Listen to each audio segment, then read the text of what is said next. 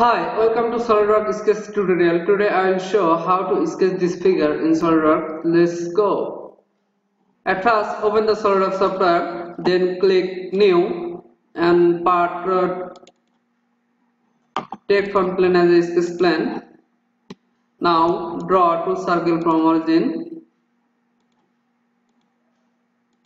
and give the diameter one circle 48 and this circle diameter 28 and this place radius.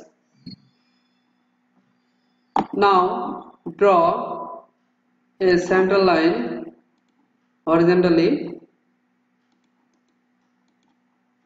and and draw line here.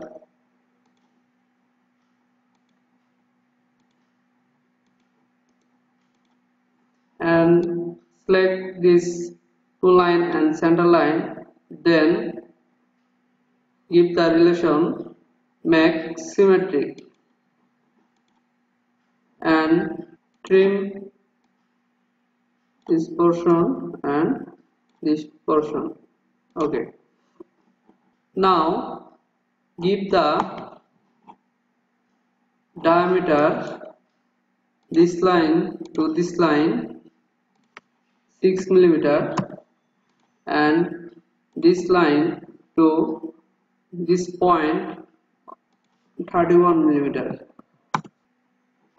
And draw two circle here.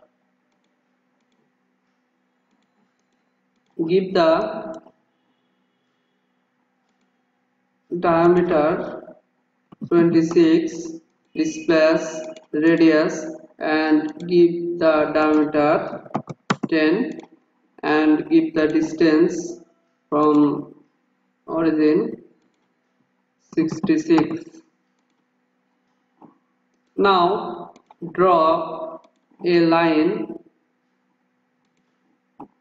It is tangent and here also tangent you can mirror this line select this line and mirror entities and mirror about here okay now now sketch is fully defined and completed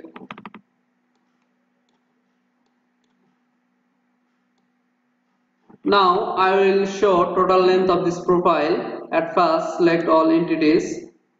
Select chain, this line, this line and this two circle and then click evaluate then measure. The total length of this profile 488.62 millimeter. Thanks for watching my video. Please subscribe my channel.